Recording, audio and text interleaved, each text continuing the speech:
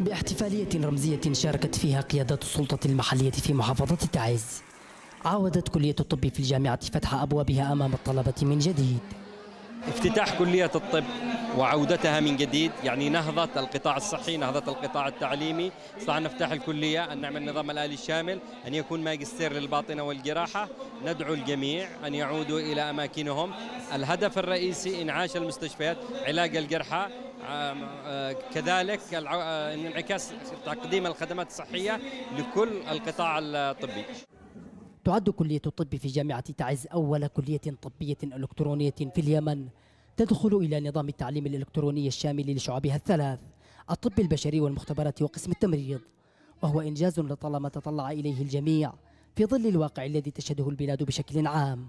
حاليا يعني بدأ التعاقد أو بدأت التحركات للتعاقد مع مستشفى بحيث يصبح المستشفى الجامعي وترفضه الكلية بجميع الإمكانيات والمدرسين والأساتذة والطواقم.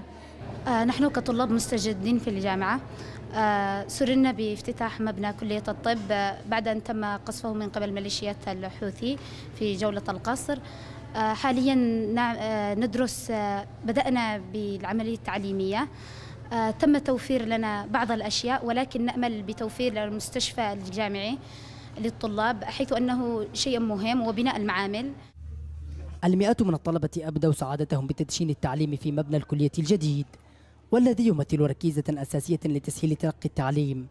ليبقى الأمل معقودا هنا في إتمام تجهيز المستشفى الجامعي ليتمكن الطلاب من تنفيذ تطبيقات عملية للجانب النظري وهو ما وعدت به رئاسة الجامعة بإنجازه خلال العام القادم. يمثل افتتاح مبنى كلية الطب في الجامعة رافدا أساسيا لسير العملية التعليمية. لكنه من جهة أخرى تحد آخر لإعادة الحالة التعليمية إلى ما كانت عليها قبل زج الميليشيات المحافظة في أتون حرب.